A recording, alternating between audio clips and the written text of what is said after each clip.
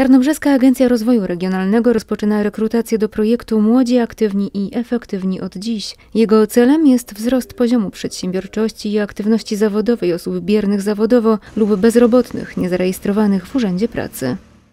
Projekt Młodzi Aktywni i Efektywni od dziś, współfinansowany ze środków Europejskiego Funduszu Społecznego, realizowany na podstawie umowy z Wojewódzkim Urzędem Pracy w Rzeszowie w ramach programu operacyjnego Wiedza, Edukacja, Rozwój 2014-2020, skierowany jest do 40 osób, 21 kobiet i 19 mężczyzn. W wieku od 18 do 29 roku życia, którzy zamierzają rozpocząć prowadzenie własnej działalności gospodarczej, pozostają bierni zawodowo, zamieszkują bądź uczą się na terenie województwa podkarpackiego a także utraciły zatrudnienie po 1 marca 2020 roku.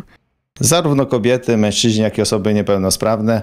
E, każda z tych osób jak najbardziej może brać udział w tym projekcie. Osoby otrzymają dodatkowe punkty premiujące za zamieszkiwanie na terenie miast e, średnich lub tracących funkcje społeczno-gospodarcze, e, kobiety oraz osoby nisko wykwalifikowane.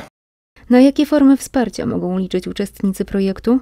W ramach projektu przewidziane jest wsparcie finansowe na założenie działalności gospodarczej w kwocie 23 050 zł e, oraz wsparcie pomostowe na bieżące koszty prowadzenia działalności gospodarczej w kwocie 2600 zł wypłacane w ratach co miesiąc przez okres 6 miesięcy. I dodatkowo też mamy przewidzianą formę szkoleniową, y, gdzie osoby uzyskają wiedzę na temat prowadzenia i zakładania działalności gospodarczej. Rekrutacja rozpoczyna się 14 września i potrwa do 27 września.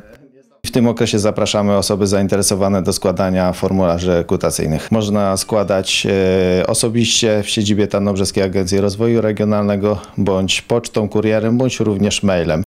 Wszelkie informacje o projekcie, jak i formularze do pobrania dostępne są na stronie internetowej młodziefektywni.pl.